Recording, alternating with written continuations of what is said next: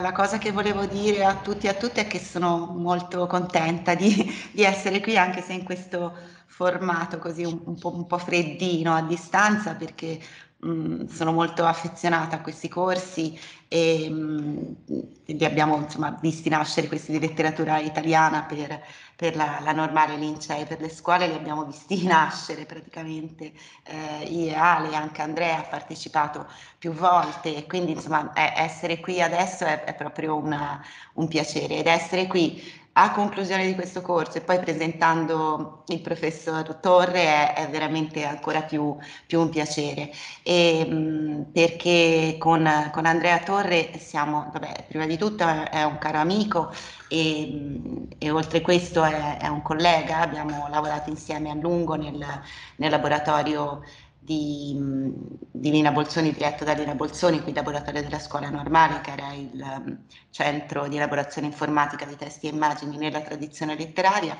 E eh, con Andrea abbiamo veramente lavorato gomito a gomito, ho studiato tante cose insieme, ci siamo confrontati, ho potuto apprezzare eh, davvero quello che poi si può apprezzare anche nei suoi, nei suoi testi, insomma, e ascoltando le sue lezioni che è un, un, grande accumulo, una grande sensibilità di fronte ai testi, di fronte alle immagini e anche una grande eh, però mh, facilità di esposizione, eh, pacatezza direi, che è assolutamente ammirevole. È ammirevole e penso che sia un po' nelle sue corde eh, e nella sua cifra stilistica, però credo che sia anche una cosa a cui eh, Lina Bolzoni, e questo non me ne vorrà Andrea se attribuisca anche un po' a lei questo tuo merito, eh, ci ha insegnato tanto, insomma, appunto questo eh, l'acume, l'attenzione, la sensibilità, ma anche la, la semplicità nel senso più, più, più, bello del termine, insomma più, più nobile del termine, nella, nell'esposizione e nel, e nel, racconto, nella narrazione della, della nostra ricerca. E, e, queste cose le ho potute apprezzare tantissimo appunto lavorando con Andrea, si apprezzano tantissimo eh, nei, suoi, nei, suoi, testi secondo me. Eh, io non, non, li ho letti tutti perché la, lo devo ammettere, non, non, sono riuscita a stargli dietro alla sua produzione scientifica, però insomma eh, molto ho letto sicuramente. Eh, Andrea è, è, ha, ha lavorato, lavora su Petrarca di cui vi parlerà oggi oggi, ma ha spaziato fino alla letteratura contemporanea, anche in, con, con, incursioni nella letteratura postcoloniale, passando attraverso eh, Lodovico Dolce, le, i volgarizzamenti eh, del, delle metamorfosi di Ovidio, eh, l'Adone di Marino, l'Orlando Furioso, l'arte della memoria. Eh, in, in, senso trasversale il rapporto tra parole e immagini nel Rinascimento, insomma, la sua produzione, i suoi ambiti di ricerca sono tanti, Petrarca è uno dei suoi cavalli di battaglia, quindi è veramente bello eh, poterla ascoltare oggi parlare di questo. Eh, delle sue pubblicazioni eh, davvero è, è, difficile perché sono molte le monografie, moltissimi i, i contributi, saggi, eccetera. Eh, possiamo citare Petrarcheschi Segni di memoria del 2007, Vedere versi, un manoscritto di Emblementi Petrarcheschi del 2012, arrivare poi fino, credo che sia la tua ultima fatica, Andrea, ma magari dico una stupidaggine, Scritture ferite, innesti, doppiaggio e correzione nella letteratura rinascimentale che è del 2019, però mh, mm, correggimi se sono rimasta indietro. Insomma, e, e oggi ci parla di Petrarca e le immagini, Petrarca in immagini e sono veramente contenta di ascoltarlo parlare, di ascoltarlo parlare in, in questo contesto e quindi gli, gli cedo volentieri la parola. Grazie Andrea. Grazie a te Serena per, per, per la presentazione, per le bellissime parole. Cercherò soltanto di essere, diciamo dire, eh, minimamente degno della presentazione così generosa che, eh, che, che, hai fatto e, e, che, insomma, per quanto riguarda anche eh, ciò che dicevi a proposito del, del, magistero di Lina, insomma, mi trova ovviamente pienamente, pienamente d'accordo. Ecco. E, e, eh, dunque, io mh, volevo con, con, con, con l'incontro odierno eh, provare ad aggiungere un altro tassello nel percorso di di casi esemplari sul rapporto tra eh, dialogico tra, tra, letteratura e altre forme artistiche che eh, avete appunto eh, già avuto modo di, di, eh, di, osservare, di discutere nei precedenti incontri. E eh, nello specifico vorrei oggi affrontare con voi quello che eh, Gianfranco Contini in un convegno del 1974 ha definito un capitolo fra i più potentemente attraenti nel libro della cultura occidentale, ossia eh, quello che eh, la questione, diciamo, delle forme e delle occasioni di incontro eh, con la cultura visiva che si possono mh, riscontrare eh, sia nell'esperienza intellettuale eh, di Petrarca, sia eh, nella tradizione che ha conosciuto la sua produzione eh, letteraria. E quindi cercherò eh, nel, nell'oretta insomma, che, che seguirà e nel modo diciamo, più equo possibile di dividere il mio discorso, esattamente come eh, il titolo, dapprima in una eh, presentazione delle testimonianze eh, dell'interesse che Petrarca eh, ha riservato eh, per la cultura visiva. E dall'altro eh, in un'analisi ecco, di alcuni tentativi di eh, visualizzazione delle eh, sue opere, tanto volgari quanto latine, che si sono succedute eh, nel, nel, tempo nei, nei, manoscritti delle sue opere, nelle stampe, ma anche in eh, differenti forme, in di differenti supporti eh, artistici. Allora, partendo dal, dal, primo punto, cioè Petrarca e le arti, si può innanzitutto dire che eh, esso costituisce, eh, a mio avviso, una delle varie circostanze in cui eh, eh Petrarca eh, si, mh, mh, mm, ci dà conferma, ecco, ci dà conferma di uno dei suoi eh, più efficaci, a mio avviso, autoritratti, quello che troviamo in un passaggio dei Rerum Memorandarum Libri, il primo libro, il capitolo 19 dedicato a Plinio il Vecchio, eh, in cui eh, Petrarca si autorappresenta come prospetticamente disteso, lui dice in confinio duorum popolorum, no? quindi eh, sul confine eh, di, eh, di, due popoli.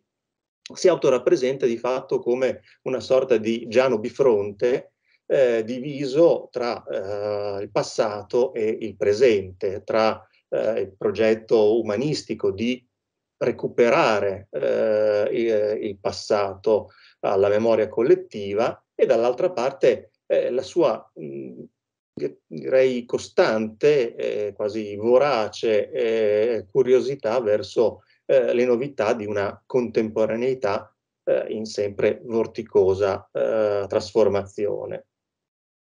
Questo dissidio tra passato e presente eh, caratterizza anche, eh, possiamo dire, eh, questo è essere in confinio, duorum populorum, eh, caratterizza anche l'esperienza petrarchesca di eh, fruitore eh, delle cose d'arte, d'arte fruitore della cultura visiva e si articola in varie dicotomie che interessano appunto la sua esperienza con, con l'arte visiva, più in generale anche la sua esperienza con il concetto di immagine. Eh, ad esempio, il pregiudizio filosofico contro eh, le immagini, quale copie di secondo grado della bellezza ideale, è proprio di filosofi molto cari a, Petrarca come Platone e Agostino, non attenuò in lui eh, l'ossessione eh, per una eh, costante eh, iconizzazione poetica eh, dell'oggetto del proprio desiderio, cioè eh, Laura, così come non ostacolò la costante ricerca di opere d'arte con uno spirito di collezionista d'arte ante litteram e non lo trattenne neppure dal cimentarsi nella pratica eh, del disegno, come testimoniano questi due marginali affigurati eh, che eh, si trovano, ehm, disegni che si trovano eh, in margine alla sua copia personale del, della Naturalis Historia eh, di Plinio, conservata ora a Parigi, il manoscritto 68, eh, parigino latino 6802, ehm, in cui eh, troviamo due, eh, eh, due, due, due, disegni, di fatto due disegni di eh, due paesaggi, eh, ehm, il, quello di destra che dovrebbe raffigurare un'architettura romana e quello di sinistra, diciamo più, più famoso, anche se la sua attribuzione è, è quanto oggetto, attribuzione petrarchesca è, è ancora oggetto di, di discussione ehm, e si riferisce al, ad una famosa immagine della transalpina solitudo eh, di, eh, di, Petrarca, cioè di, eh, dell'immagine eh, di Valchiusa. Ehm, questa è mh, mm, l'attribuzione, diciamo, la, la, la paternità ecco, di questo disegno, Petrarca la condivide col suo grande discepolo Boccaccio, che appunto eh, a cui diede eh, in, in, prestito proprio il codice eh, parigino latino 6802 e, e, Boccaccio a sua volta lo postillò tanto eh, verbalmente con delle postille eh, testuali quanto anche con tanti piccoli eh, disegni, quindi con postille eh, visive. Quindi anche questo, questa in, curiosa eh, immagine eh, relativa al paesaggio valchiusiano, diciamo che è eh, in dubbio se attribuirla alla mano più da dilettante di Petrarca oppure alla mano più, diciamo, anche eh, artisticamente attrezzata no, di, eh, di, Boccaccio.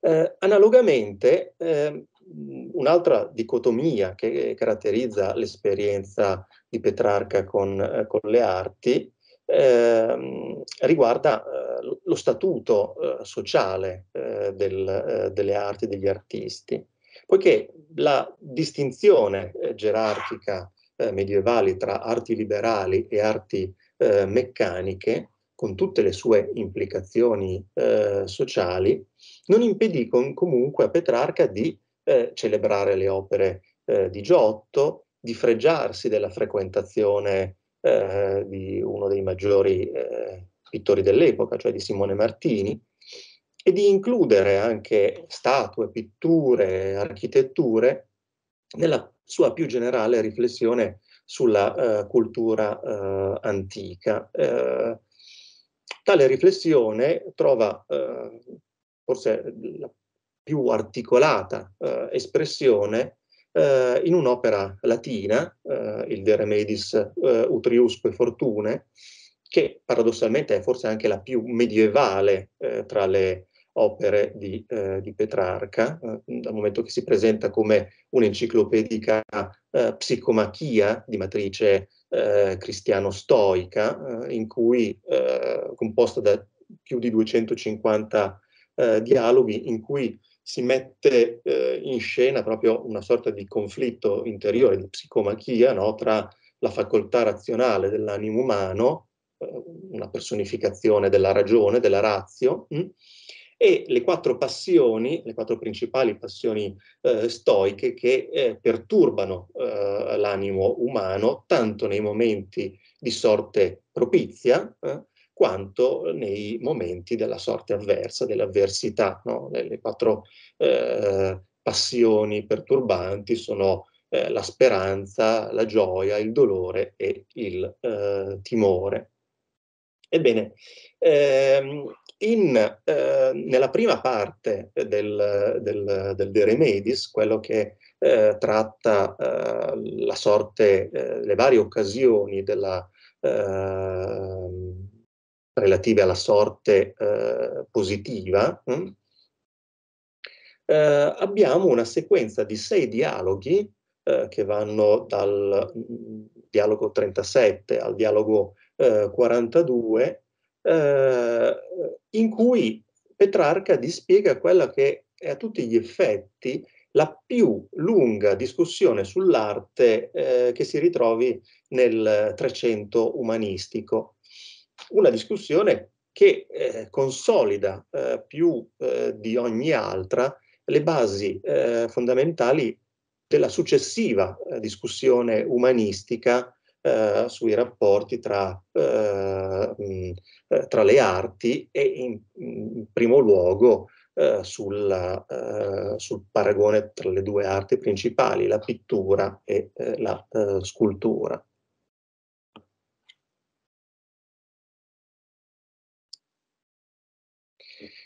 In, eh, in, questi, eh, in, in, questi, sei dialoghi eh, la, eh, diciamo, la, voce della facoltà razionale, della la razio, attacca costantemente il suo interlocutore di turno, che in questo caso è il gaudium, cioè la gioia, mh, mm, eh, la quale eh, continua a lodare smodatamente i manufatti artistici e, e esprimere il desiderio di, eh, di, eh, di acquisirli, di, di, ottenerli, no? dando quindi prova di avarizia e di eh, vanagloria.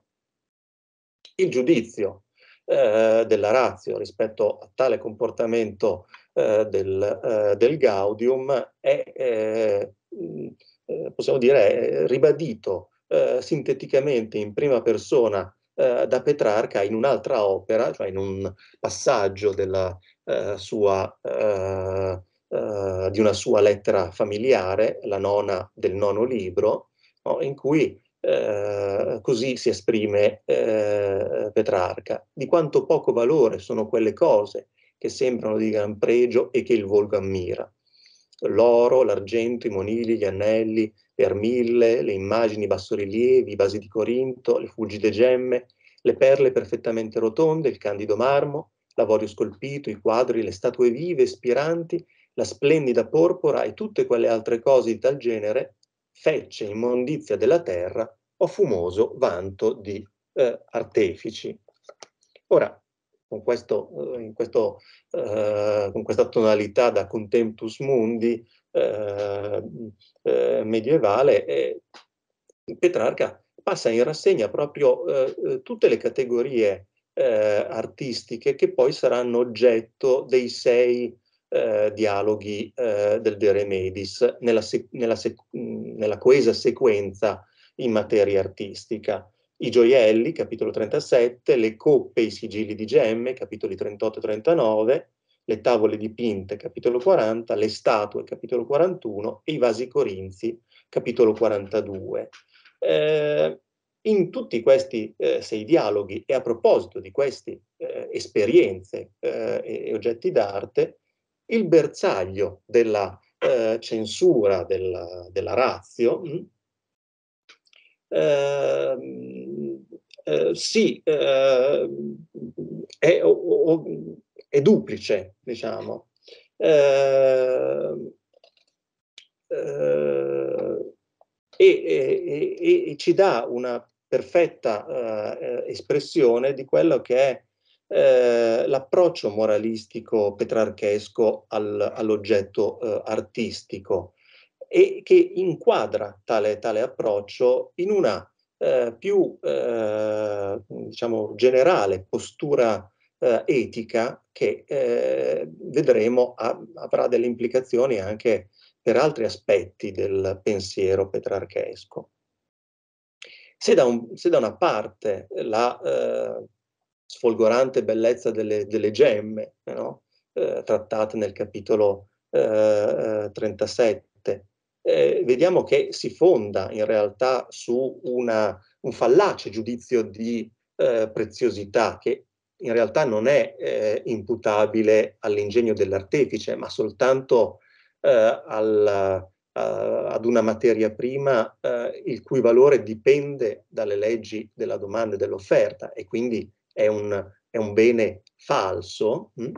Dall'altra parte la bramosia uh,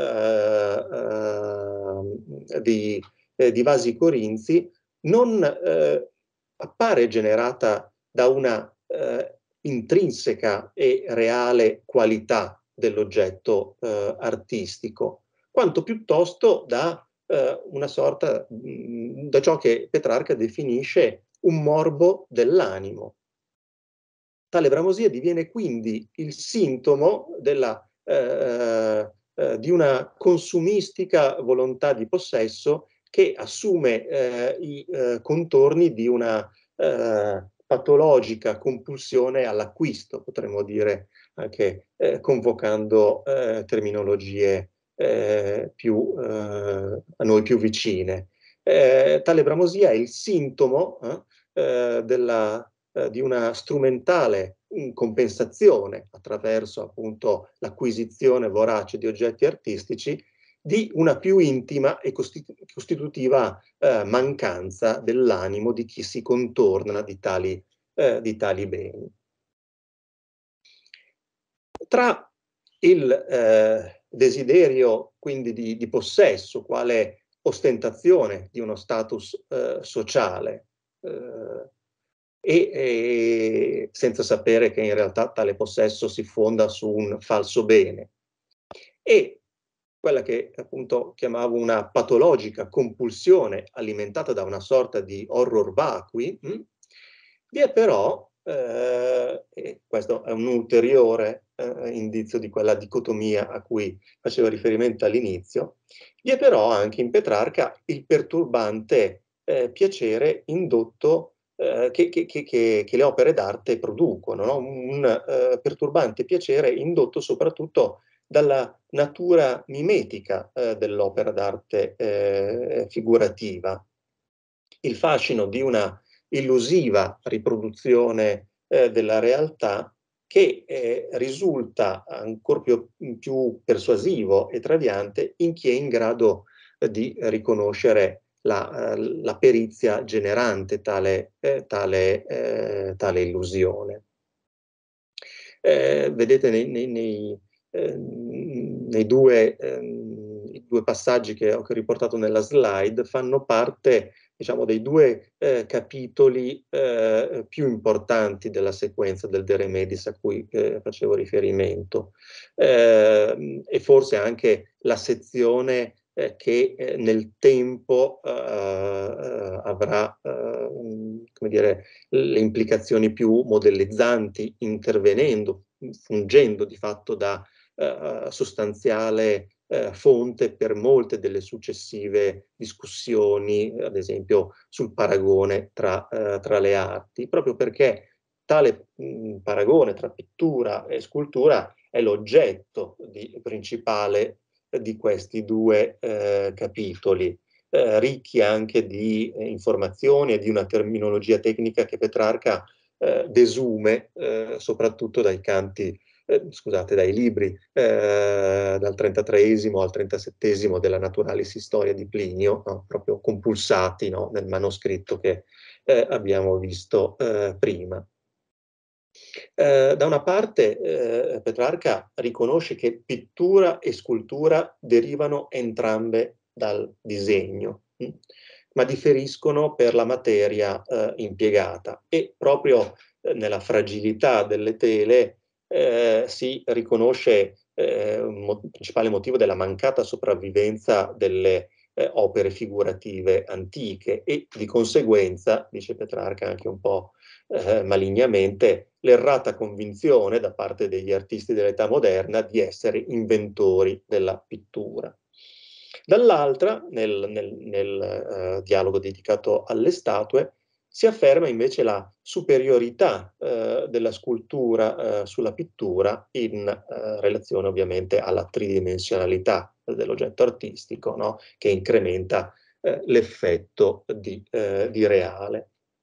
Ma queste eh, eh, riflessioni mh, mm, sul, eh, sulla, su aspetti tecnici, eh, su questioni eh, più eh, esplicitamente estetiche, non, ehm, come dire, non sono l'unico aspetto che emerge da, dai testi che compongono questa sequenza del, del,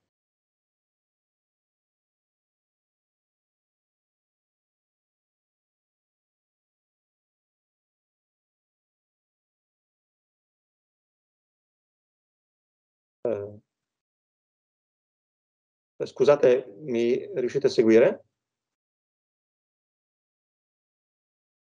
Abbiamo perso, Andrea, abbiamo perso per un attimo la voce. Non eh, sentivamo, però adesso sì, adesso ti risentiamo. Ok, e riuscite a vedere anche il PowerPoint, sì? Sì, sì, sì, sì, okay. è quello a posto. Grazie. No, prego. E, dicevo, eh, insieme a considerazioni eh, di carattere estetico, sono presenti anche eh, sempre riflessioni di carattere eh, etico. No? Eh, questo chiaramente eh, per eh, giustificare appieno anche la presenza di, di, di questi, della trattazione di tali temi all'interno di un'opera che, come vi ho detto all'inizio, proprio ad un ehm, ad una riflessione eh, etico-moralistica è eh, principalmente indirizzata. E infatti in quasi tutti i, eh, i, eh, eh, i capitoli eh, della sequenza ehm, la, ehm, eh, la ragione, la razio, corregge costantemente quello che è che sono i principali vizi del Gaudium, quindi la superbia e eh, l'avarizia, e eh, implicitamente legittima eh, la, eh, ehm, come dire, l'esperienza artistica eh, prospettando una funzionalità strumentale a quello che è il manufatto pittorico e plastico.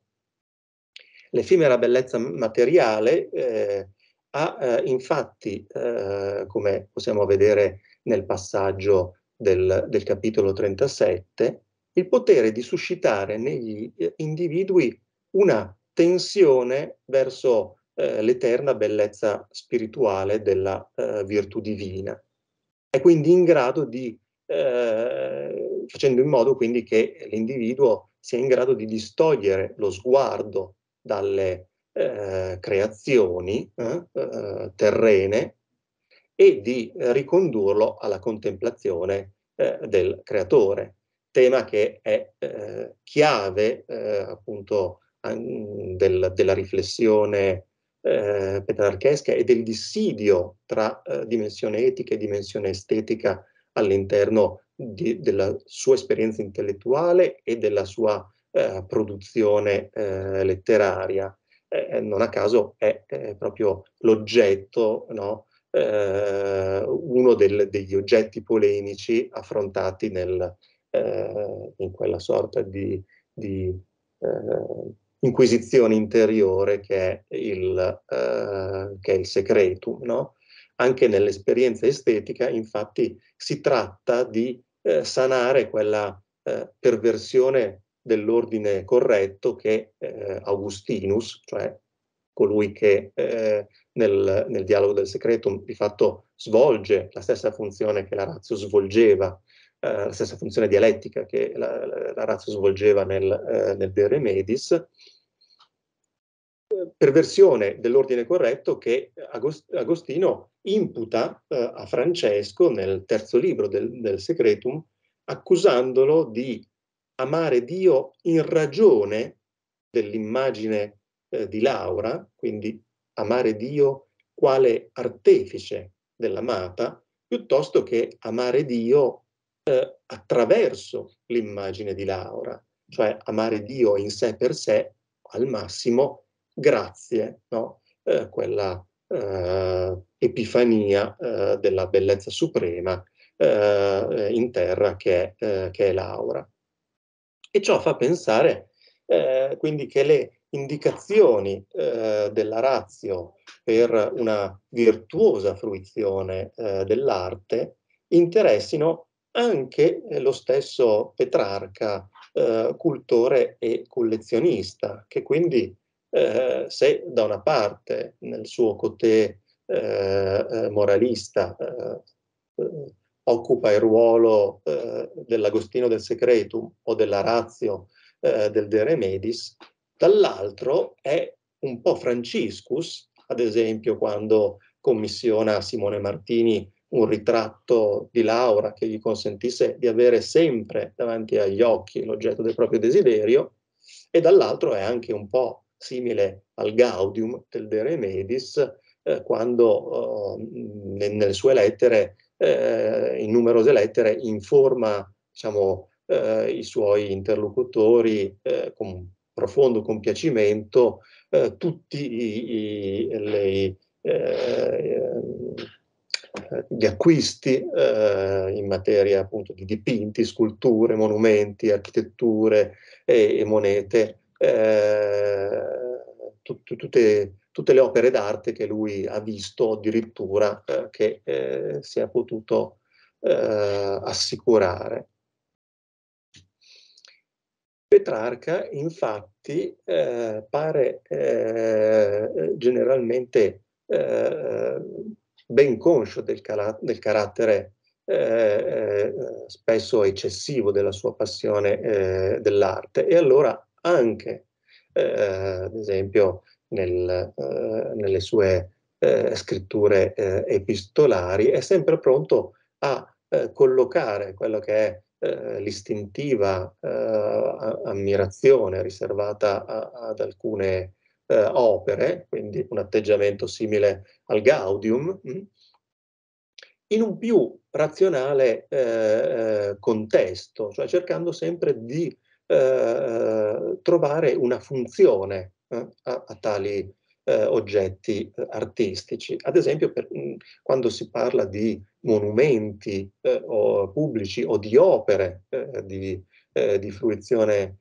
pubblica, eh, costante è eh, la loro eh, interpretazione come eh, dispositivi di una sorta di eh, memoria eh, collettiva, cioè ehm, l'oggetto artistico, all'oggetto artistico viene riconosciuta una funzione memoriale, viene riconosciuto come una sorta di identitario aiuto di memoria della eh, illustre eh, storia culturale e politica di un determinato luogo o di una determinata eh, comunità. Hm? Ad esempio, eh, alcune esemplificazioni in tal senso sono, si trovano ad esempio nella senile, eh, nella prima senile del quinto libro, eh, in cui vi è un passaggio dedicato alla famosa statua equestre del Marco Aurelio, il cosiddetto Regisole a, a Pavia. Altrettanto eh, interessante eh, sono i riferimenti al perduto ciclo eh, napoletano di affreschi eh, eh, realizzato da Giotto nella cappella palatina di Castelnuovo eh, a Napoli, mh, di cui Petrarca che vengono ricordati da Petrarca in un passaggio del suo itinerarium ad Sepulcrum Christi, un, un, un trattatello che Petrarca aveva uh, composto per un suo amico che doveva uh, andare a compiere il, il, pellegrinaggio in, in Terra Santa no? e per il quale lui crea una vera e propria guida di viaggio, un Bedecker, no? eh, che eh, ehm, come dire, eh, sottolinea di ogni tappa eh, del viaggio da Genova fino in Terra Santa eh, i luoghi in, della terraferma degni di essere eh, oggetto di, di, una visita, di un'osservazione, no? e molto spesso ci dà testimonianza anche di, proprio di, quei, eh, di quelle opere artistiche, architettoniche che fungono, um, come dire, da, da genius loci, no? da, da, elemento eh, artistico caratterizzante no? Eh, quello specifico luogo. Un, un, un'opera d'arte a cui eh, è possibile associare la memoria no, di quel eh, luogo. Un altro eh, esempio è quello eh, relativo ai cavalli di San Marco eh, a Venezia che eh, Petrarca eh, descrive in un passaggio della terza senile del, del, quarto libro, no? ehm, in cui ehm, e, e, di cui Petrarca ci offre una, uh, una uh, descrizione uh, che risponde un po' a tutti i crismi eh, di fatto del, della scrittura ecfrastica, cioè del, eh, del registro, eh, di quel registro narrativo volto a descrivere delle opere, eh, delle opere artistiche. Qui eh, in, nel, nel, descrivere i, i, cavalli che quasi nitriscono e sca, scalpitano no? verso altri cavalli vivi, no? è da una parte l'immediata memoria del mito di Pigmalione e più in generale del motivo dell'immagine eh, spirante, no? già virgiliana e, eh, e, ovidiana, che è uno degli elementi attraverso cui proprio si cerca di evidenziare eh, il naturalismo illusivo no? dell'opera eh, d'arte e una de delle modalità attraverso cui la parola letteraria in realtà eh, eh, come dire, autolegittima se stessa e la propria superiorità rispetto all'opera artistica perché lei per prima dà, no, incrementa tale eh, eh naturalismo eh, illusivo del, eh, eh del eh, artistico. A questo eh, topos ecfrastico Petrarca ricorre spesso no, nelle sue descrizioni di, di opere d'arte e, ehm, e, e e soprattutto in alcuni casi per eh, sottolineare il eh, potenziale eh, dell'icona eh, nel come dire, commuovere gli animi dei suoi osservatori e nel indurli quasi a immedesimarsi con essa. Eh, e qui un altro elemento, ecco, eh, insieme a quello che vi ricordavo prima, eh, cioè eh, relativo al, eh, alla dimensione di ehm, identitario aid memoir del, di, di, un luogo eh, svolto da, dall'opera d'arte, ecco, un altro, eh, un'altra funzione su cui spesso, che, che spesso Petrarca affida al, alle opere eh, artistiche è proprio quel, quella di, eh, eh, dell'icona che diviene eh, exemplum, no? che quindi eh, spinge eh, i, gli osservatori ad una coinvolta emulazione con il soggetto rappresentato in essa, sia esso sacro o profano. Ad esempio, eh, come il ritratto di Sant'Ambrogio, che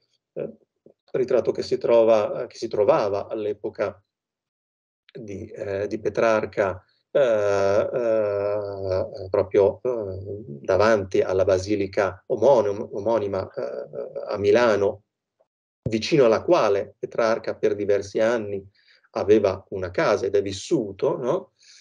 Mm, e eh, Sant'Ambrogio, no, no, eh, contemplato quindi costantemente, potremmo dire quasi quotidianamente, da Petrarca, che eh, con eh, profonda eh, commozione riconosceva in lui un'immagine viva, eh, ispirante, un'immagine in cui mancava solo la voce per credere che, di aver davanti Ambrogio redivivo. Oppure l'immagine di Cesare Augusto, come compare in tante eh, monete, come ad esempio compariva in alcune monete che Petrarca eh, inviò insieme ad una sua lettera al, all'imperatore dell'epoca, eh, cioè Carlo V, eh, una lettera anche eh, una delle tante lettere anche abbastanza dure con cui eh, Petrarca cercava di rendere eh, l'imperatore sensibile ai fatti italiani e in cui eh, in questo tentativo di sensibilizzazione gli invia anche delle, eh, delle eh, monete con l'immagine degli imperatori antichi, con l'effigie di Cesare Augusto vivo e spirante, eh, dicendogli o Cesare, quelli ai quali tu ti sei succeduto, ecco quelli che devi imitare, quindi proponendo eh, eh, proponendo di, che, invitando, ecco, invitando eh, l'imperatore a eh, rispecchiarsi no, nel, eh, nell'effigie e quindi riportando alla memoria eh, eh, la statura morale del personaggio effigiato, eh, del personaggio lì rappresentato. Hm? Talora è lo stesso eh, Petrarca che eh, si fa eh, effigiare e diviene in un certo senso, si offre quasi come icona a, a, a osservatori che eh, vorrebbero immedesimarsi in lui. E ad esempio ciò che eh, lui ci racconta in, eh, nella sesta senile del primo libro, ricordando la grande passione di, dell'amico che, che l'amico Pandolfo Malatesta aveva uh, per lui. Mm? Eh, Pandolfo Malatesta che eh, eh, desideroso di eh, eh, dire, mosso ecco, da, dalla fama di Petrarca desideroso di dare un volto alla, alla, figura di Petrarca, eh, eh, commissionò un pittore eh, di realizzare un ritratto del, eh, del poeta. Però, eh, come vedete dal, dal, dalla citazione,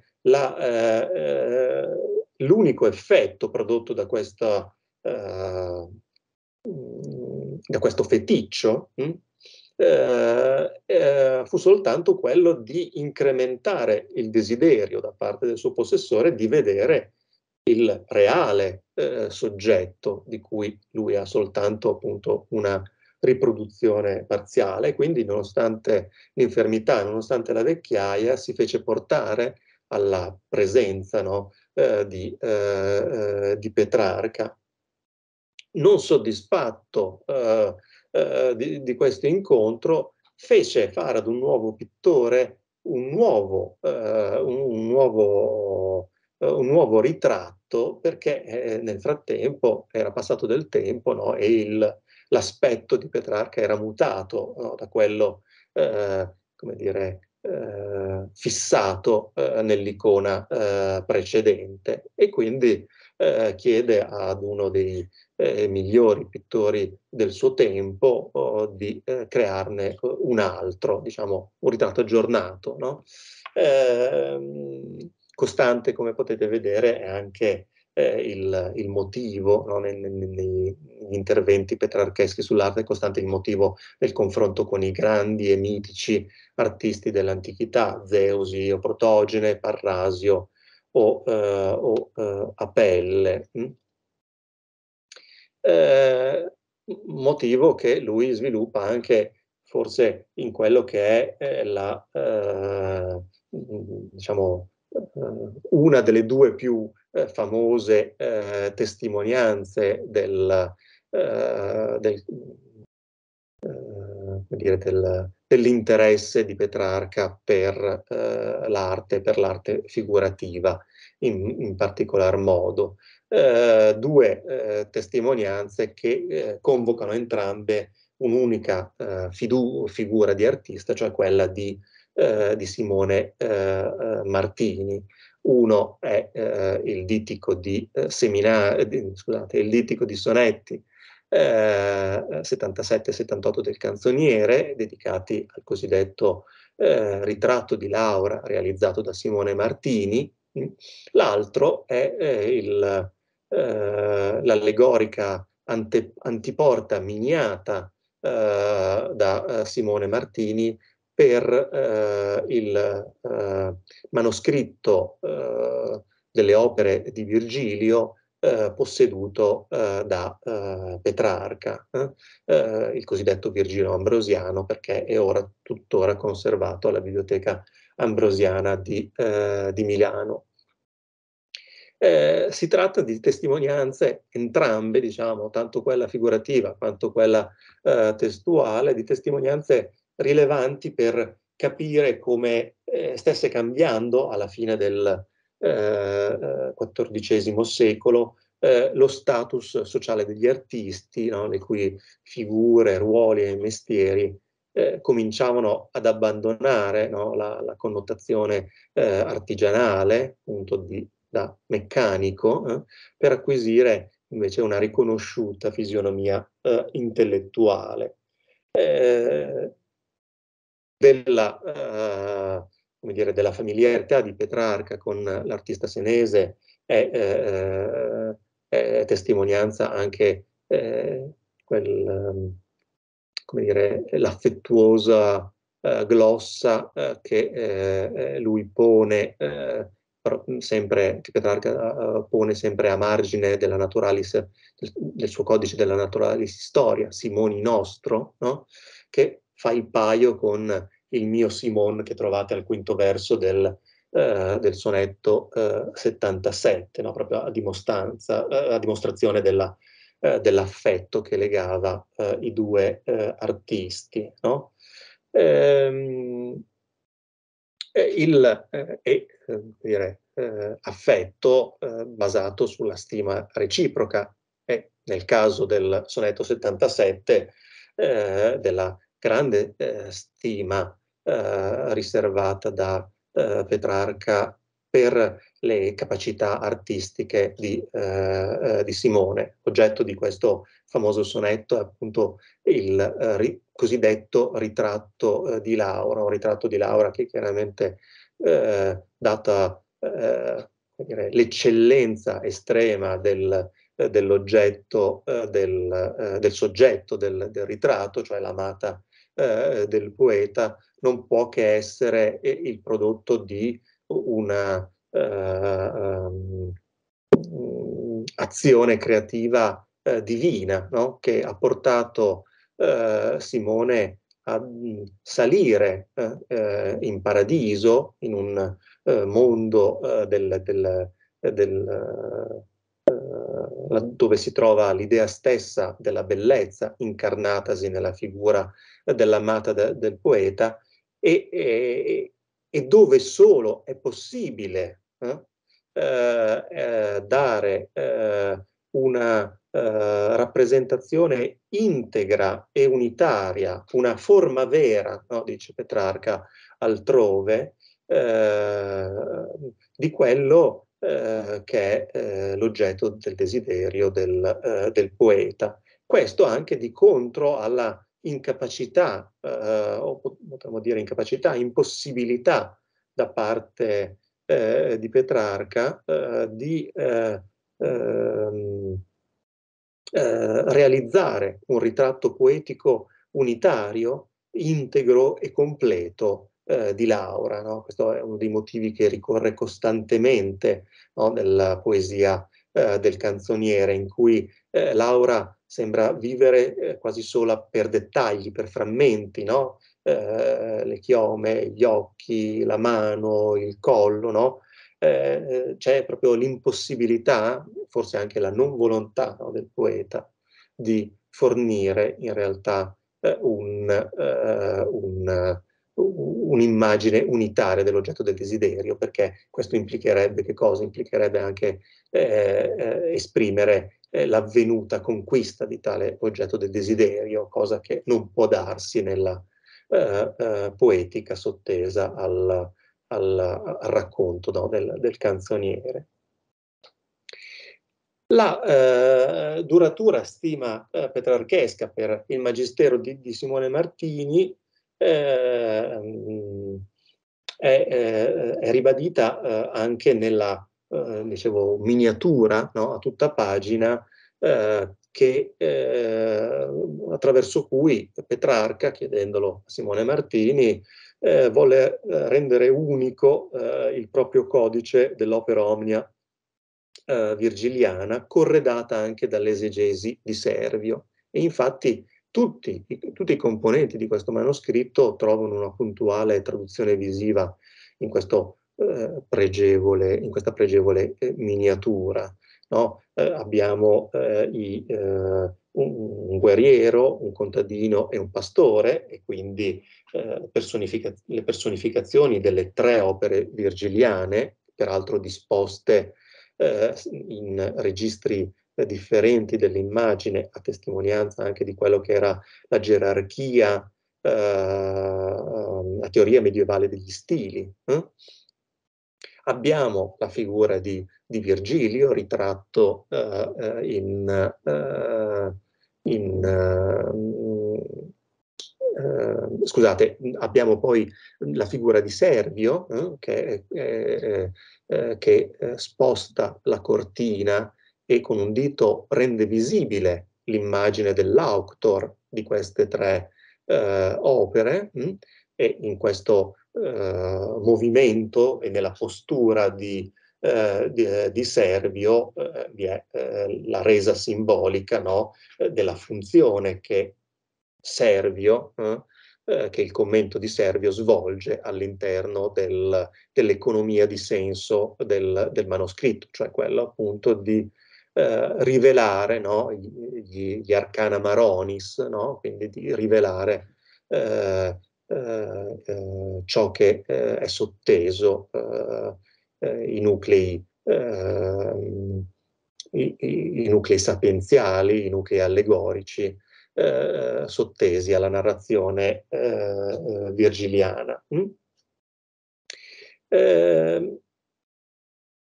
Come vedete, eh, e, e, questa funzione, scusate, questa funzione eh, di Servio trova eh, espressione anche eh, in uno dei, eh, dei tre distici eh, che accompagnano la, la, ehm, la, la, miniatura. Due si trovano riprodotti nel centro della tavola, un terzo si trovava Uh, si mm, trovava in basso, ma è stato poi tagliato da una rifil rifilatura del, eh, del codice e, e, e troviamo eh, quindi eh, in questi mh, mm, tre distici troviamo anche le varie autorialità convocate all'interno del, eh, dell'immagine e più in generale all'interno del manoscritto. Servio, Mantova, ma, eh, scusate, eh, Virgilio, ma anche lo stesso Simone, no? che, la cui azione creatrice vedete, viene messa eh, sullo stesso piano, quasi in comparazione con eh, l'azione eh, eh creativa di, eh, eh, di, Virgilio. E forse anche implicitamente con quella del possessore del, di questo codice illustrato, cioè lo stesso Petrarca. Eh, se infatti prendiamo una, la, la, la, sesta senile del primo libro, eh, successiva, ecco, degli anni eh, 60, mentre la uh, miniatura uh, si colloca tra il 1342 e il 1343, ebbene se riprendiamo questa senile, che è la stessa di cui uh, abbiamo oh, rela mh, relativa al ritratto petrarchesco per Pandolfo Malatesta, di cui abbiamo parlato prima, ecco, prima di raccontare eh, il, eh, in questa senile, Petrarca, prima di raccontare l'aneddoto relativo al, al, suo ammiratore, eh, ci offre un piccolo eh, ma interessante autoritratto eh, eh, di sé che è, è, interessante confrontare proprio con l'immagine di, di, Virgilio ritratta da Simone Martini. No? Petrarca si eh, si autorappresenta nella senile come uno studioso e neppure questo, piuttosto un abitatore dei boschi, un vagabondo solitario, avvezzo a emettere non so che insulsi strepiti sotto aerei faggi e, sommo della presunzione dell'audacia, a stringere tra le dita sotto un acerbo alloro un fragile eh, calamo, no? quindi un autoritratto eh, ideale del tutto vicino no, a, quello a quello con cui c'era stato immortalato Virgilio no, nel codice eh, eh, milanese. Ora, tanto l'illustrazione, questa pregevole illustrazione di, di un'opera letteraria, eh, quanto eh, l'evocazione no, nel, con il sonetto 77 del, eh, del caso del ritratto eh, di Laura, eh, chiamano congiuntamente in causa un ultimo aspetto del rapporto tra eh, Petrarca e le arti figurative, ossia l'articolata tradizione di visualizzazione che ha interessato l'intera sua produzione fino al XVI, mm, sì, eh, fin, dal, fin, scusate, fin, dal, eh, fin dal XIV secolo. Eh, a questo aspetto, mh, mm, mm, come eh, avevo promesso all'inizio, vorrei dedicare la parte finale del mio intervento mostrandovi alcune eh, eh, testimonianze eh, delle, ehm, dei tentativi di visualizzazione dell'opera di, eh, di, ehm, di, Petrarca, tanto dell'opera volgare quanto dell'opera latina. Partendo eh, da quest'ultima eh, ricordo molto cursoramente in, eh, in avvio eh, la presenza di alcuni manoscritti del De Viris Illustribus, ehm, ehm, qui due esempi eh, appunto del, molto, eh, molto alti del XIV secolo, eh, di fatto eh, realizzati eh, pochi anni dopo la morte di, eh, eh, di Petrarca e qui l'immagine è l'immagine della gloria mondana o della fama, no? Che di fatto una, rappresentata come una divinità che trasceglie no? gli individui degni di essere eh, ricordati eh, nel tempo, no? individui illustri degni di essere ricordati nel tempo. Però la ricezione visiva eh, dell'opera eh, petrarchesca, al di là appunto di quei, questi pochi casi relativi al De Viris Illustribus, si eh, concentra per il versante latino, soprattutto sul De Remedis, e per la poesia volgare sui trionfi e sul eh, canzoniere.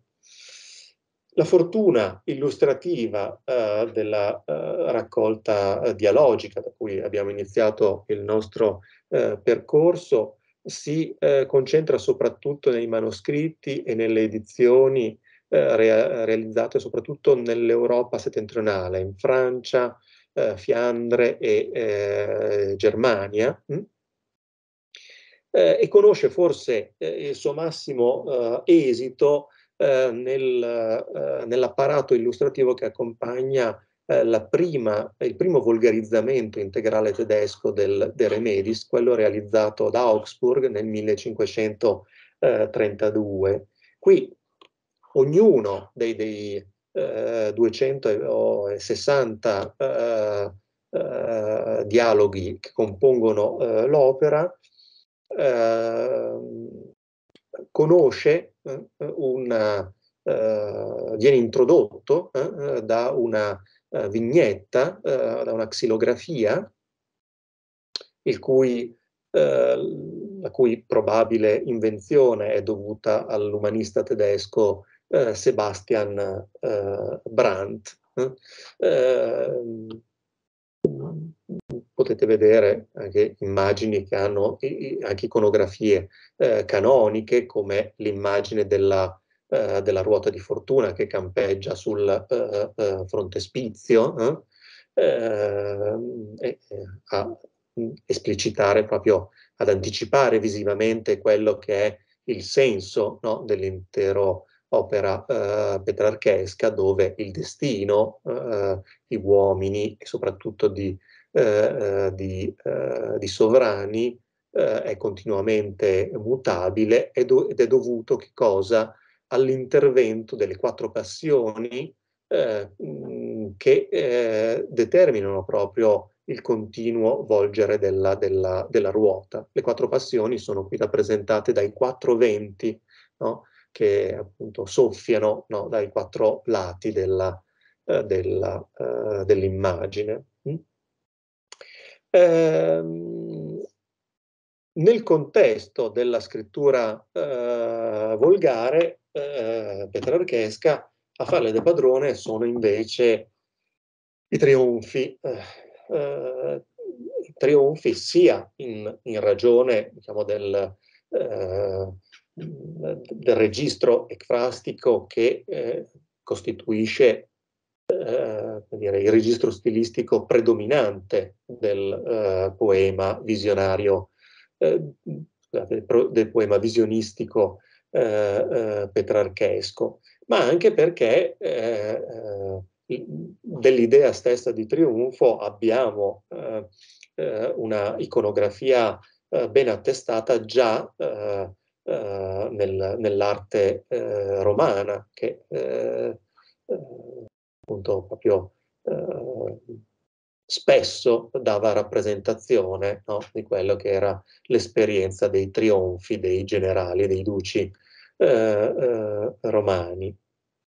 Eh, manoscritti, eh, edizioni a stampa, ma anche affreschi, dipinti, manufatti artistici di varia natura come eh, deschi eh, da parto, cassoni, arazzi, diventano il supporto su cui eh, eh, maggiori eh, artisti fin dagli anni 30 del 400 tentano di tradurre visivamente quello che è l'allegorico percorso trionfale eh, petrarchesco e così facendo vanno a definire un vero e proprio modulo espressivo di lì in poi costantemente, spesso anche con minime variazioni, utilizzato e riprodotto no? eh, sui più vari eh, supporti. Vi ho qui riportato il caso eh, di eh, quattrocentesco di Francesco eh, Pesellino che in due eh, appunto in due divide di fatto il, eh, la rappresentazione dei sei trionfi petrarcheschi in due, in due tavole, però eh, rendendo bene un aspetto eh, qualificante la eh, narrazione eh, petrarchesca, ossia la conseguenzialità tra i, i vari trionfi, tra i vari capitoli eh, trionfali, una conseguenzialità eh, legata alla, a quella che eh, i critici chiamano eh, la eh, dinamica del superamento no, che presiede al, al, senso stesso della, eh, della narrazione trionfale. prima si racconta il trionfo d'amore, ma il trionfo d'amore viene superato eh, dal trionfo della eh, pudicizia, della castità, eh, eh, che a sua volta viene messa eh, in, in crisi dall'avvento della morte, che quindi vince la castità, ma la morte a sua volta viene vinta una prima volta dalla, dalla, fama, la morte terrena viene vinta dalla fama, la fama però non è altro che eh, appunto un, qualcosa che viene portato avanti dalla memoria e quindi col tempo, eh, con l'azione del tempo, è destinata a finire, eh, fin tanto che no, eh, il tempo stesso eh, verrà eh, superato, allora quando anche l'agens, il protagonista dei trionfi petrarcheschi, giungerà no, nel, ad un a, a sfiorare il contatto con una dimensione dell'eternità, no? nell'ultimo capitolo del eh, racconto eh, petrarchesco. No? E eh, la struttura no, del, dell'immagine di Pesellino, che senza soluzione di continuità no, mostra uno dopo l'altro i vari carri eh, trionfali, dà ben conto di questa uh, uh, dialettica continua no, uh, che ehm, gestisce il passaggio da uh, un momento all'altro della narrazione trionfale. E questo anche in modo, come dire, eh, è, è, una soluzione rappresentativa che non troviamo eh, spesso, che sicuramente non troviamo eh, nel, nell'illustrazione librario manoscritta dei trionfi, dove invece eh, canonicamente troviamo eh, ehm, la rappresentazione dei vari cortei trionfali ad apertura di ogni singolo eh, capitolo, quindi ad, ad evidenziare no, con i castica eh, prolessi eh, il nucleo tematico delle, eh, eh, delle varie stazioni. Ehm, ecco, ci sono poi pochi eh, ma interessanti casi in cui eh, l'illustrazione eh, eh non si limita a, rappresentare il corteo trionfale con il carro eh, che eh, porta, che celebra no? la, la, potenza trionfale di turno. Qui vediamo a destra il trionfo d'amore e a sinistra il trionfo della morte. Eh, in pochi interessanti casi come quello eh, di questo uh, manoscritto uh, francese del, dell'inizio Cinquecento, troviamo anche la ehm, traduzione visiva anche de, delle storie, dei personaggi mitologici, storici e letterari catalogati nei lunghi elenchi eh, in cui Petrarca riassume eh, sinteticamente eh, la vicenda che ha reso appunto tali storie tali personaggi esemplari no? eh, rispetto a un determinato eh, contesto trionfale. No? Qui eh, siamo nel contesto del trionfo d'amore e troviamo la rappresentazione di due no? Illustri storie d'amore, da una parte Piramo e Tisbe, la storia ovidiana di Piramo e Tisbe, dall'altra quella dantesca di, di Paolo eh, eh, e Francesca. E notate qui l'abilità no, dell'illustratore eh, attraverso il eh, gioco di quinte che eh, si crea eh, grazie a, um, ai dettagli architettonici, riesce a darci i due momenti esiziali della storia, della storia dantesca, no? tanto eh, il, il, momento del, i due momenti de, esiziali della storia dantesca eh, ricordati da, da, Francesca, quindi il momento dell'innamoramento e il momento poi appunto del, eh, della scoperta del, eh, dell'adulterio. Mm? Ehm, ultimo aspetto su cui volevo attirare la vostra attenzione è, è la traduzione visiva eh, del canzoniere che rispetto al al, ai trionfi è, eh, diciamo, più standardizzata e eh, presenta eh, meno, eh, meno eh, varietà e ciò è legato soprattutto al differente registro eh, poetico mh, mm, di fronte al quale gli illustratori si trovano ad operare. Se nei trionfi avevamo una, narra una narrazione e quindi eh, la eh, descrizione di eventi, di episodi, di storie eh, passibili di una più facilmente passibili di una traduzione visiva, nel canzoniere al massimo abbiamo sentimenti, situazioni eh, interiori, eh, eh, pensieri, quindi mm, oggetti più facilmente traducibili in immagini. Ecco che allora eh, gli apparati illustrativi eh, che accompagnano il canzoniere tendono piuttosto a, a svolgere eh, altre funzioni eh, semantico-ermeneutiche. Eh, Ad esempio, eh, marcano gli snodi chiave della struttura del macrotesto petrarchesco, soprattutto la bipartizione in vita e in morte. Qui vedete a sinistra l'illustrazione eh, che eh, apre il, eh, il, canzoniere anticipando il, eh, il, primo sonetto e dando di fatto una rappresentazione di quel voi no?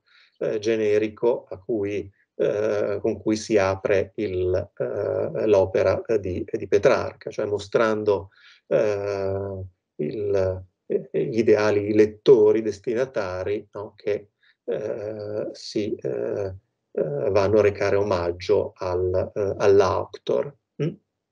Oppure l'illustrazione che troviamo in un ma manoscritto eh, italiano eh, posta eh, prima del eh, fragmentum 264, cioè della canzone Io vo pensando, quella che apre la seconda sezione, quella in morte, e che quindi ci va a immortalare appunto la figura di Laura che eh, quasi in forma di fetonte, no? eh, precipita e eh, va a incontrare eh, la, eh, la, morte, morte che poi sarà l'oggetto appunto della sequenza di fragmenta che prenderà avvio da, da quel punto. Un altro uh, un'altra funzione eh, a cui chiamate, viene chiamato l'illustratore è quella di eh, eh ritrarre eh, l'autore, mm, l'autore colto durante l'atto di, di, creazione, secondo le varie, mh, come dire, le principali varianti del genere, quindi il poeta eh, raffigurato come un amante ispirato, il poeta raffigurato come eh, un umanista ritratto nel suo scrittoio, eh, esattamente come eh, l'iconografia anche dei, degli evangelisti eh, o dei padri della Chiesa, eh, oppure la rappresentazione dell'amante malinconico incoronato da, da Apollo. In altri casi le illustrazioni servono ad evidenziare quelli che sono dei eh, riferimenti intertestuali impliciti nel testo, ad esempio il sottotesto ovidiano con il mito di Apollo e Daphne, no? eh, che è qui eh, reso in modo esplicito eh, con i due protagonisti della storia eh, ovidiana, eh, posti ritratti nel registro basso della, della miniatura, che, come dire, quasi incrociano eh, la loro immagine con quella eh, dei loro eh, protagonisti sul, all'interno del racconto petrarchesco. Da una parte l'io lirico Petrarca, no? novello Apollo, e dall'altra parte Laura, novella, novella Daphne. Mm? Eh, ci sono però due testi eh, del canzoniere su cui più assiduamente si, come dire, eh, insiste ecco, l'attività la, illustrativa e visualizzatrice degli, eh, degli illustratori del, eh, dell'opera. Eh, e sono uno la canzone della, delle visioni, il fragmentum 323, di cui eh, vi offro qui due, eh, due, due, testimonianze, anche qui di illustrazione manoscritta, due testimonianze tra sé eh, complementari, no? perché in uno, nel quel manoscritto eh, eh, tedesco eh, con, realizzato da ehm, scusate, quel manoscritto conservato eh, a, a, Berlino, ma in realtà è di fattura eh, eh, francese, eh, propone le, le varie visioni attraverso cui Petrarca nella canzone delinea rappresenta mm, la morte dell'amata in tanti singoli frame, in tanti singoli fotogrammi, mentre invece Bartolomeo Sanvito nella sua miniatura del 1490, in questo manoscritto eh, conservato eh, a Ginevra, eh, ci offre una visione, come dire, eh, sinottica eh, del, eh, della canzone e di tutte le singole stazioni visionarie che la compongono. L'altro grande testo, spesso tradotto in immagine, è la canzone della Metamorfosi, il fragmentum 23. Eh, perché questi due eh, testi? Uno perché eh, innanzitutto si tratta di canzoni, si tratta di testi, quindi, testi lirici che hanno eh, quindi un, già un più accentuato sviluppo narrativo. Due, soprattutto nel caso della canzone delle visioni, si tratta anche di testi in cui il, ehm, Ehm, come dire, eh, viene tematizzato eh, direttamente il concetto e l'esperienza eh, della eh, visione, quali motivi e dinamiche della eh, scrittura petrarchesca. Ehm, se, ecco, se dobbiamo ricorrere, e, e mh, mm, eh, vado velocemente alla, conclusione del, del, mio discorso, se avete ancora giusto 5 minuti di, eh, di eh, pazienza, eh, se, ehm, come vi ho mostrato, le, le, modalità di visualizzazione del, del canzoniere eh, tendono ad essere abbastanza standardizzate eh, e soprattutto rare, eh, ecco, dei mh, moduli rappresentativi meno standardizzati del canzoniere e anche eh, casi di una sua più estesa rifunzionalizzazione visiva, quindi tentativo di illustrare anche testi che appunto non siano la canzone della metamorfosi o la canzone eh, delle visioni, si trova eh, in, uh, in, cicli figurativi che testimoniano uh, un incontro tra eh, generiche esperienze di visualizzazione del canzoniere e quel fortunato nodo di parole e di cose che dà forma ai libri di emblemi e di eh, imprese. Qui, in, questi, eh, in, questo contesto, si assiste eh, talora all'azione di uno sguardo, quello dell'illustratore, che cerca di eh, ehm, realizzare una rifunzionalizzazione simbolica del testo eh, petrarchesco e eh, facendo così talora suggerisce anche eh, dei punti di vista interpretativi rispetto al testo di Petrarca eh, che non sempre, come dire, sono stati colti eh, dalla critica, tanto dei commentatori antichi di Petrarca quanto anche dalla critica contemporanea. Mm, voglio chiudere proprio con un esempio che va in questa direzione e che ci offre un'efficace eh, esemplificazione di eh, di, dire, di, circolarità ermeneutica tra il testo di Petrarca e eh, eh, un'immagine eh, emblematica.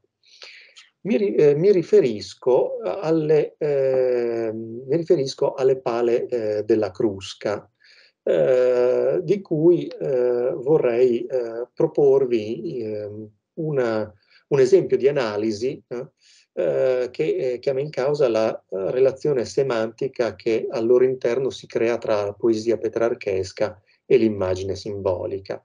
E per farlo prenderò le mosse dal, uh, da un'analisi no, di una di queste eh, pale, di queste imprese della Crusca, no, che trovano come supporto le pale eh, che si trovano appunto all'interno dell'Accademia, eh, lettura offerta da Giovanni Pozzi nel suo eh, saggio sull'orlo del visibile eh, parlare e che eh, riguarda l'interpretazione di una di queste imprese, quella dell'accademico eh, cruscante Baldassarre Suarez, passato col nome accademico di Mantenuto.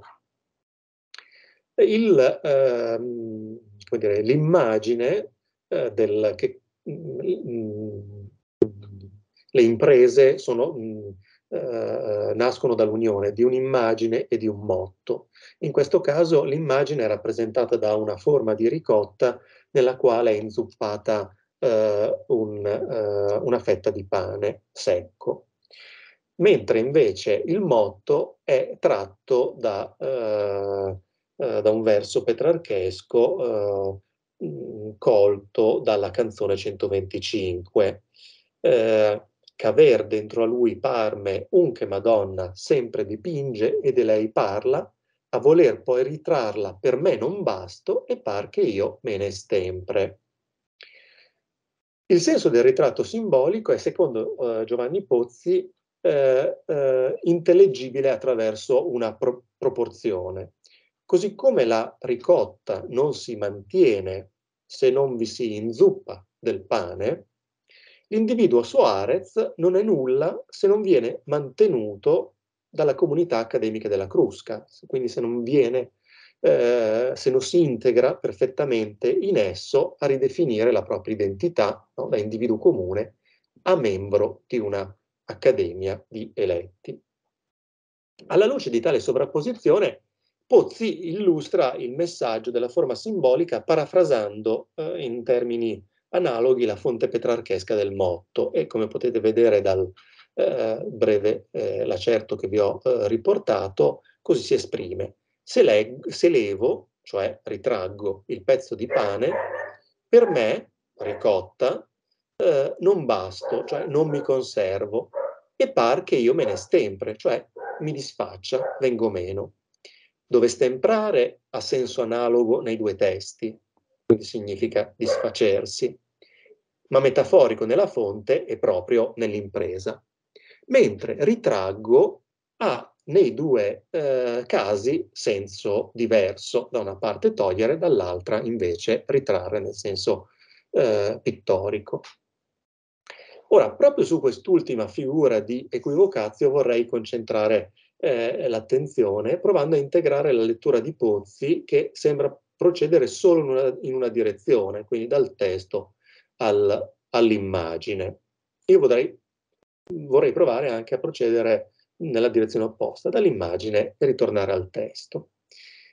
Il distico, infatti, che fa da ponte tra la canzone e l'impresa, è parte di un più esteso eh, passaggio in cui Petrarca riprende il motivo eh, provenzale dell'immagine memoriale del, dell'amata dipinta nel cuore. Ehm, l'accezione quindi artistica del, del verbo eh, eh ritrarla eh, eh, risulta del tutto contestuale e infatti trova concordi tutti gli interpreti antichi e contemporanei del canzoniere.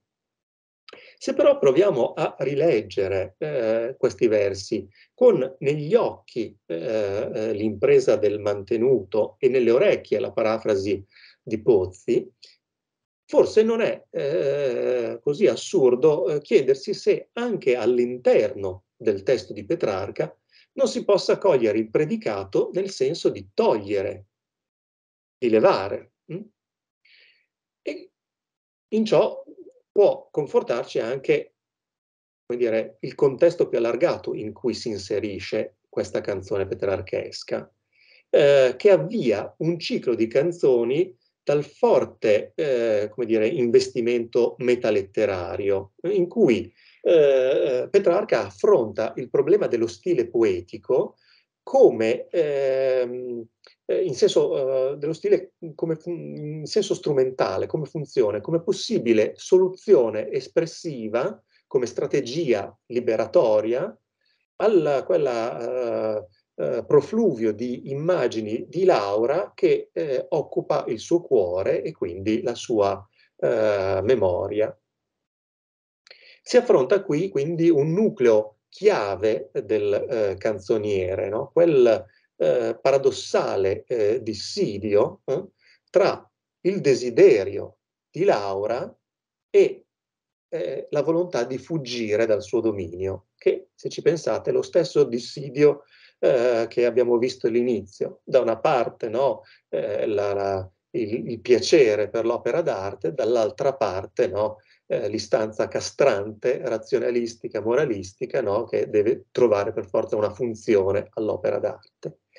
Ecco, dissidio quindi tra il desiderio di Laura e fuga dal suo dominio, che alimenta anche l'impossibilità di dare forma a quella che Marco Praloran definiva la meccanica spietata del pensiero eh, d'amore, cioè eh, eh, l'incapacità di imbrigliare il desiderio in una argomentazione poetica, di, di, di dire poesia di fatto. Eh? Sicché, eh, parafrasando, parafrasando a, nostra volta i versi del fragmento 125, forse potremmo dire il poeta amante non riesce a ritrarre, cioè ad estirpare, a levar via dalla propria memoria l'immagine, per quanto ossessiva, di Laura, perché senza di essa non potrebbe vivere, non potrebbe sopravvivere. Come peraltro dice lo stesso Io lirico, due eh, fragmenta dopo, eh, nella canzone 127, eh, impegnato a riflettere su un medesimo snodo concettuale. Dico che per chi io miri eh, mille cose diverse, attento e fiso, solo una donna veggio e il suo bel viso. Poi che la dispietata mia ventura m'ha dilungato dal maggior mio bene, noiosa, inesorabile, superba, amor con rimembrar sol mi mantene. Mm? Potremmo dunque chiederci se la selezione eh, impresistica del materiale eh, poetico non vada a evidenziare il primario nucleo concettuale della canzone e anche di un eh, gruppo di fragmenta contigui ad essa, ossia la persistenza entro la memoria dell'io lirico della presenza di Laura. Così come quindi eh, l'accademico cruscante Baldassare Suarez acquista la sua nuova eh, identità supportato dalla comunità accademica, soltanto se è appunto eh, una zucca nella quale è inserito una fetta di pane, scusate, una ricotta nella quale è inserita una fetta di pane, allo stesso modo Petrarca riconosce nella tormentosa immagine di Laura, che porta nel petto, eh, l'elemento identitario che lo mantiene in vita. L'inventore dell'impresa eh, di Baldassare Suarez ci offre così una doppia rappresentazione simbolica, esplicitamente quella, un ritratto del neo-accademico cruscante, implicitamente un ritratto dell'io lirico petrarchesco. L'ipotesto petrarchesco costituisce dunque sia la base generativa eh, per l'impulso creativo dell'autore della forma sim simbolica, sia la chiave ermeneutica per l'interpretazione di quest'ultima da parte di ogni lettore. L'ipertesto verbo visivo, cioè l'impresa, a sua volta si configura quindi tanto come un'invenzione autonoma fine a se stessa, quanto come una sorta di esegesi, una sorta di commento del fragmentum petrarchesco, prodotte entrambe da un individuo che è nello stesso tempo autore e lettore. In questa potenzialità dell'immagine di eh, interpretare il testo che essa eh, va a illustrare, o almeno di suggerire nuove domande per una interpretazione di tale testo, risiede, a mio avviso, forse una delle ragioni più rilevanti per studiare le occasioni di dialogo tra parola e immagine, tra letteratura e arti visive. E spero, con gli esempi che, che, che vi ho portato, di eh, insomma, aver dato una minima testimonianza eh, di ciò. E vi ringrazio per l'attenzione che mi avete concesso. Grazie Andrea, grazie mille a te, veramente, poi è stato lungo e che sfilava tutto, è stato bellissimo il finale rispetto a, all'esordio, insomma, come si teneva tutto. Eh, ci, sono, ci sono domande? Dicevo, qualche ultimo, visto che è l'ultimo incontro, qualche considerazione su, anche sul percorso che avete fatto, anche se non cronologicamente in, in successione, che si aspetti vari, poi insomma Petrarca magari è anche più raro, appunto del furioso in immagine, ne abbiamo parlato tutti gli anni, ma Petrarca ad esempio. Sempre che ci siate, eh, perché vedo tutti in silenzio. Forse non sono ancora rientrati dalla pausa, Francesco.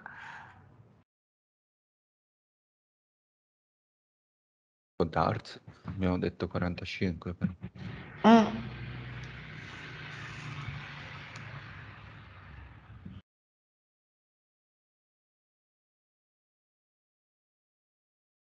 Io mi sono molto mm, entusiasmata appunto alla, alla lettura della, dell'impresa, del mantenuto e alla rilettura di Petrarca attraverso quel ritrarla, no? che poi appunto forse il, gioco era mantenere anche un po' entrambi i sensi, visto, visto la contestualizzazione, no? però sicuramente è assolutamente convincente la, devo dire la verità che poi, poi a, a, a, riprova della, della forza dell'immagine, no? nel momento che ho guardato quella e l'ho letto, l'ho subito letto in quel modo, l'ho subito letto come l'hai letto tu, cioè, e questo oltre appunto a confermare la, la, l'attenzione tua nel leggerlo e, e, riportare queste anche a conferma proprio della, della potenza del, dell'immagine, di com'è capace di no, poi... Sì, sì, no, è, è vero, è, ma, eh, infatti eh, cioè, la, la, la, la, cosa curiosa è che poi appunto quando, quando, mh, mm, quando ti accorgi della, della plurisemanticità, no? dell'ambiguità, allora poi è difficile ritornare a leggere, secondo, eh, senza, diciamo, eh, passare attraverso il, quella lettura visiva. Ed è, ed è, curioso, ad esempio, che ehm, io ho cercato di, di, di, chiaramente anche di controllare eh, eh, a livello di, di commenti, no? I commenti uh-huh tardo quattrocenteschi, cinquecenteschi eh, e a salire e, e non viene mai, eh, non viene assolutamente mai eh, considerata l'accezione eh, del verbo eh, appunto nel senso di togliere, no? Ma sempre uh-huh. effettivamente è quello da rappresentare visivamente. Esatto, quello, quello, quello visivo, quello visivo, no? Eh, invece, una cosa curiosa, eh, siccome eh, mi è capitato di, imbattere, di, di, di, studiare poi anche questa, questa canzone in quello che, è, che, sono le sue riscritture spirituali, no?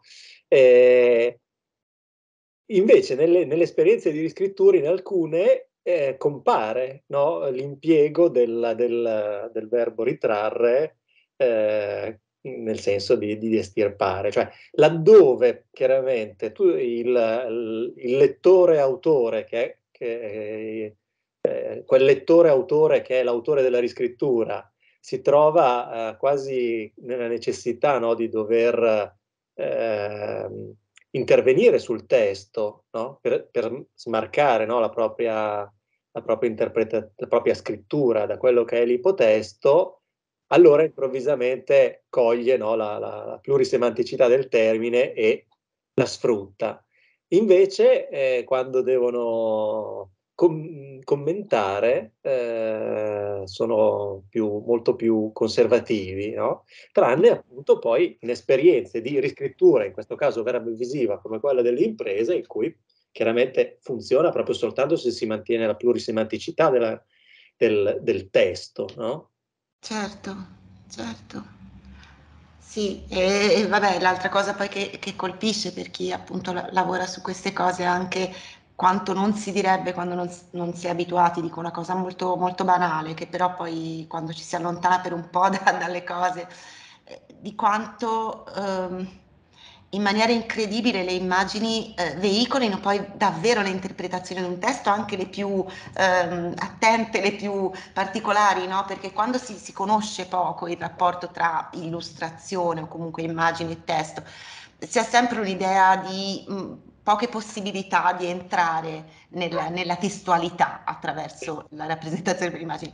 E secondo me la, la, quell'esempio che hai fatto tu qui in particolare ehm, invece rende proprio conto di questa cosa e secondo me è, è, è una cosa incredibile, ecco, è, è, sempre estremamente affascinante e, e mi colpisce, ecco, sì. Poi c'era un'altra cosa che ti volevo chiedere a proposito invece della rappresentazione di, di Petrarca, de, dell'io poetico, diciamo.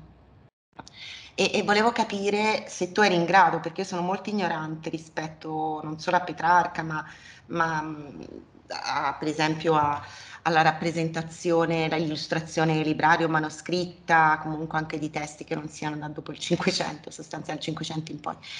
Questa rappresentazione dell'io lirico, dell'io poetico all'interno delle illustrazioni è così frequente anche in altri autori, laddove chiaramente non si può fare l'esempio di Dante e, del, e della Divina Commedia, perché in quel caso è veramente personaggio, no? Um, è, è, frequente anche, anche, in altri, che ne so, per esempio, eh, invece per Dante, il Dante non della commedia, Ehm, per altri autori, perché ti ricordi, no, per dire, ormai stiamo chiacchierando io e te, chissà se qualcuno si ascolta, però di come siamo saltati su quando Val Grisi rappresentava Ariosto, no? nel, sul, sulla nave che rientrava, perché era una cosa in quel caso lì, in quel contesto assolutamente inusuale, cioè tra tante illustrazioni era il primo ed unico che aveva rappresentato il poeta, no?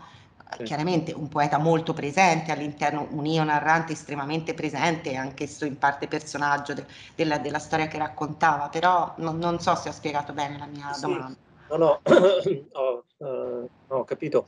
Cioè, allora, in parte mi viene da dire che comunque sono, eh, eh, sono, diciamo, sono casi differenti nella misura in cui comunque il ruolo di, di narratore, per quanto sia un, un, ruolo estremamente presente e, come dire, lui chiaramente un narratore demiurgo e altro, e lì, diciamo, eh, eh, forse eh, Valgrisi eh, vuol quasi rendere onore eh, a, a, questa funzione, no? eh, che comunque è una funzione ancora liminare rispetto ad uno statuto di personaggio. Il problema nel caso di, di, di, eh, di Petrarca o anche di Dante è invece che loro sono anche proprio personaggi, cioè sì. io ti ricordo, perché ad esempio eh, lasciando stare il discorso della commedia che effettivamente eh, può essere, eh, come dire, anche un po' al li, li, sì, al limite appunto. Però se si pensa invece ai casi di illustrazione della vita nuova, eh. c'è qualcosa di più simile al discorso del... del eh sì, infatti, e com'è in questo caso? Perché io non... Lì, non... lì lui è lì è proprio personaggio e quindi abbiamo... Ed è rappresentato, cioè si trova spesso anche nelle, nelle, nelle raffigurazioni quanto si vede sì, con il caso di Petrarca. Sì, oddio, è una tradizione illustrativa un po', ta- un po tarda, ecco. Eh, eh, però quando, quando, c'è lui interviene appunto nel, nel, duplice ruolo, ecco, viene rappresentato nel duplice ruolo. Mm-hmm. E, e se no, eh, eh se no, eh, se no la figura dell'autore appunto trova, trova, trova spazio soltanto in quelle che sono delle sedi liminali No? Certo, di frontespizio, il ritratto. Sì, esatto, oppure nei manoscritti, le, le pagine eh, eh, iniziali, no? Eh, lì tu, tutti i casi dei, dei manoscritti della, della, eh, della, commedia sono molto interessanti effettivamente perché si vede proprio come lo stesso personaggio poi venga rappresentato anche diversamente in diverse configurazioni a seconda che si voglia trasmettere l'idea che si sta dando un ritratto del, della, dell'autor o si sta dando un ritratto del personaggio, no? Certo. Ok, quindi...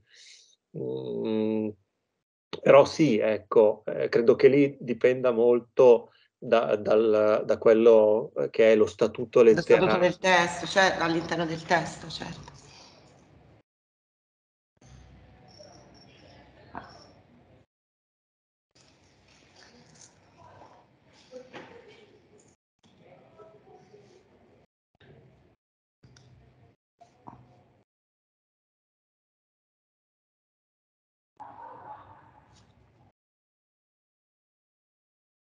Andrea, c'è un intervento in chat, un'osservazione che altro.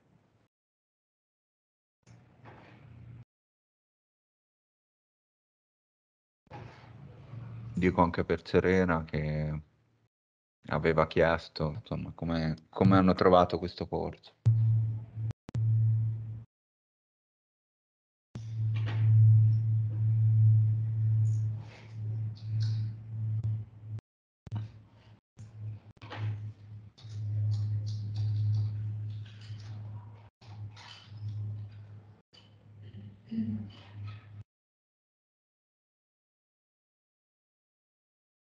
Sì, eh, sì, sì, grazie per, per, per, per l'interesse, insomma. Per l'interesse. E, e, e sì, sì, sì, scusate, io poi c'era un'ultima, un'ultima slide che eh, nel, nel, nella fretta non ho mostrato, eh, in cui eh, c'era un... Um, eh, anche un, minimo approfondimento bibliografico, eh, eh, diciamo, i, i testi eh, fondamentali per appunto affrontare il problema del, del rapporto tra Petrarca e le arti. Tra queste c'era anche eh, il saggio di, di, Cicuto che è ricordato nella, nella chat, ecco, quindi concordo.